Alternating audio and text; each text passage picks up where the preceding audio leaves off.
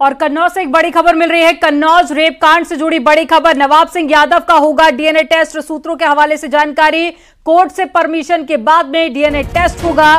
तो एक बड़ी खबर आपको बता रहे हैं।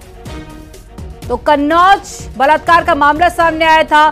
पुलिस ने आरोपी के खिलाफ मामला दर्ज कर लिया है। साथ ही पीड़िता की बुआ पर भी एफआईआर दर्ज की गई है। और जरा जानकारी के साथ में संवाददाता जुड़ गए हमारे लोकेश। लोकेश पूरे मामले को लेकर क्या जानकारी मिल पा रही है? क्या अपडेट है? और साथ ही डीएनए टेस्ट को लेकर क्या अपडेट है? कब तक हो सकता है? देखिए आपको बता दें डीएनए टेस्ट के लिए आज जो है जो विवेचक है वो आज न्यायालय में प्रस्तुत करेगा और वहाँ से परमिशन मिलने के बाद में कल नवाब सिंह यादव का डीएनए सैंपल लिया जाएगा।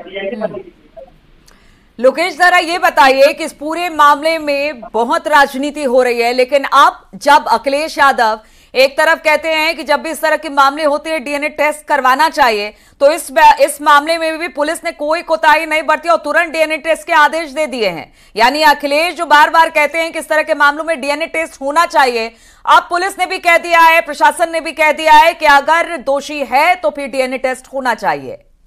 जी, बिल्कुल आपको बता दें पुलिस जो है वो किसी विवाद से बचने के लिए और इसमें जो कार्रवाई होती है, चूँकि डीएनए से जो रिपोर्ट आने के बाद में बिल्कुल स्पष्ट हो जाएगा कि जो नवाब सिंह यादव के द्वारा ये दुष्कर्म किया गया कि नहीं किया गया, ये आरोप में फंसाए जा रहे हैं। इसके लेकर पुलिस ने जो है तुरंत आज परमिशन के लिए विवेचक को कहा है। विवेचक आज न्यायालय से परमिशन लेगा और उसके बाद में नवाब सिंह यादव का डीएनए सैंपल लिया जाएगा।